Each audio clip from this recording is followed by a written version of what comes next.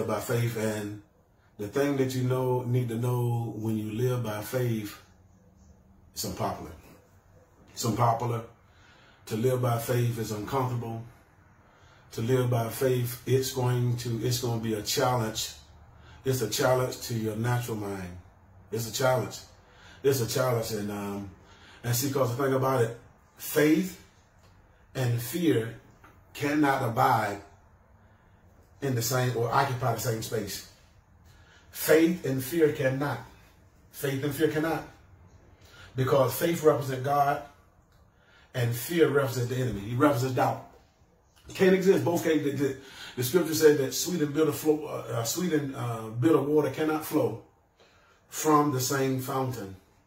And if you call yourself a believer, if you call yourself someone who trusts God, who trusts God, but you're living in fear, you're trying, you're trying to, you're trying to predict your next step.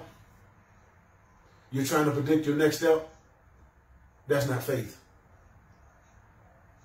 That's doubt. That's fear. And see, the fear is controlling your future. That's the fear. The fear is will try to make you control the future.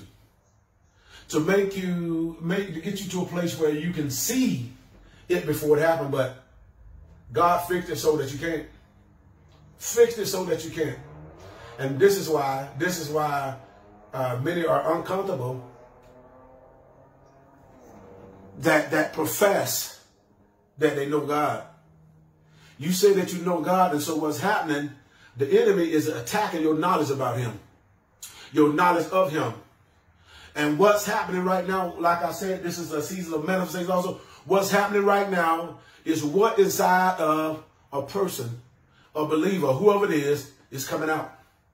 What's inside of you in troubled times and in times in your times of test and in your times of dilemma, what comes out of your mouth, how you act, how you react is what's in you.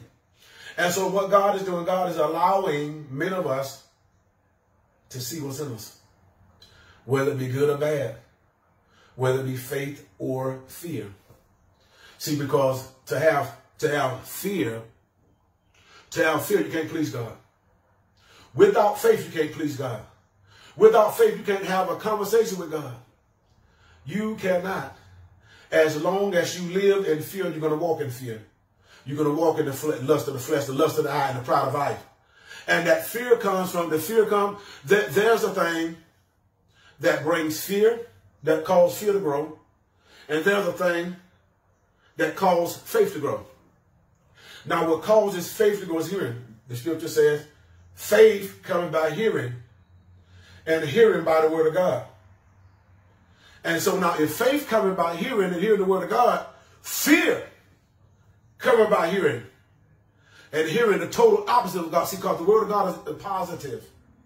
But anything opposite and opposed to the word of God is negative.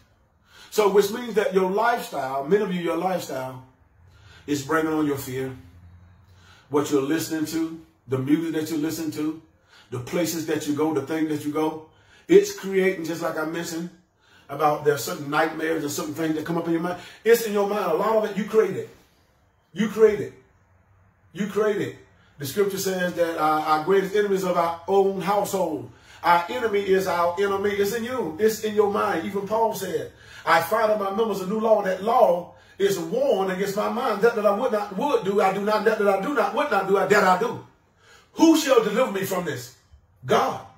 And so he's going to serve God in the spirit, in his mind.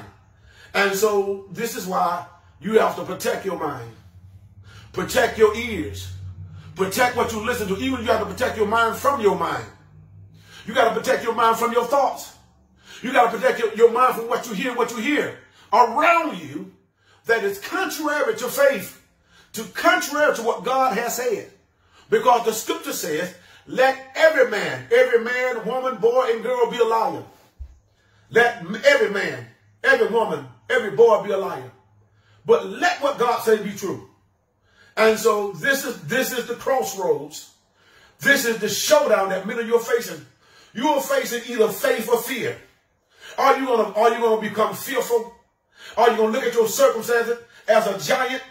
and you're to appear yourself as a grasshopper, and are you going to feel defeated? Are you going to bring back an evil report? Or, and see those 10 that Moses sent out, they brought that back. They brought back fear. They brought back doubt. But there was two. Joshua and Caleb. Their eyes were different. They came with eye, they came out with a report of faith. And they said that we are more than able to overcome. And see, when you have faith in your heart, and see, when the word has been buried and hid in your heart, you will say we're going to overcome. Because the scripture said they overcame by the blood of the Lamb and the word of the, and the word of their testimony. And so you're going to be in the book. And so when you have faith, you're going to see God. When you have faith, you're going to see the power of God. When you have faith, you're going to see God's authority.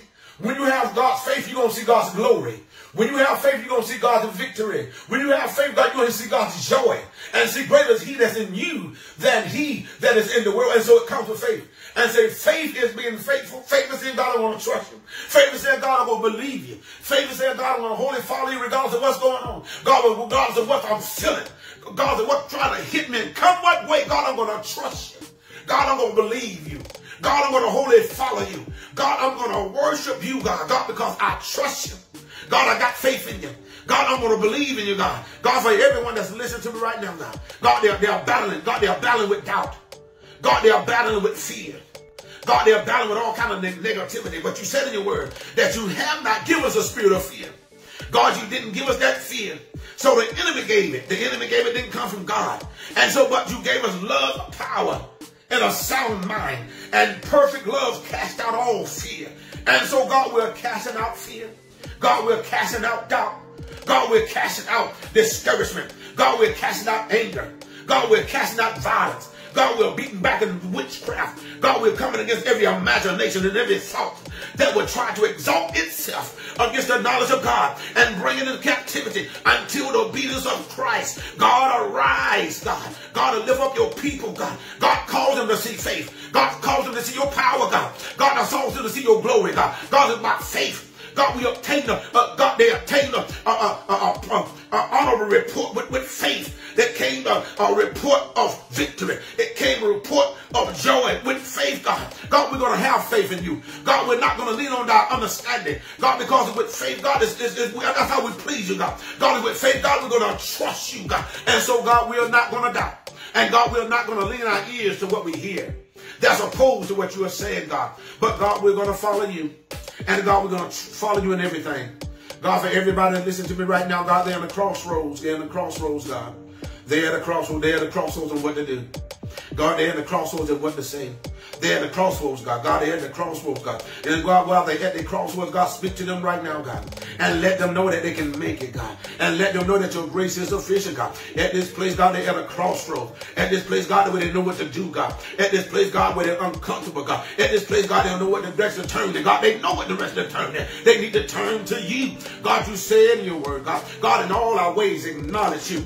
That means to focus on you first. That means to talk to you first. That means to seek your name first. That means to seek your will first. That means to acknowledge you first. That means to cry out to you first. And God, we're going to do it first. God, we're going to look to you first. God, we're going to reach out to you first. God, we're going to cry out to you first. God, we're going to walk into your, God, we're going to walk into your precept first. God, we're going to walk into your pavilion first. And so, God, we're going to seek you first and your kingdom, God. And all things will be added, God. God, we're not going to push the cup before the heart. God, we're going to do this thing right. And God, anything that's not like you, God, God, we rebuke it right now. God, God we rebuke depression. God, we rebuke pain. God, we rebuke hurt. God, we rebuke rejection. God, we rebuke bitterness. God, we rebuke that untrustworthy spirit. God, we rebuke untrustworthy. God, we rebuke doubt.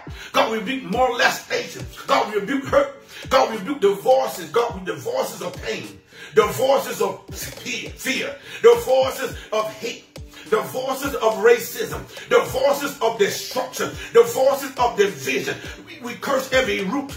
We curse every evil root. We curse every uh, familiar root. God, we curse every wicked root. We curse every nasty root. We curse every every, every uh, manipulative root. We curse every deceptive root. In the mighty name of Jesus, God deliver. God deliver, God deliver, God deliver. In Jesus' name we pray. Amen and amen. God bless you.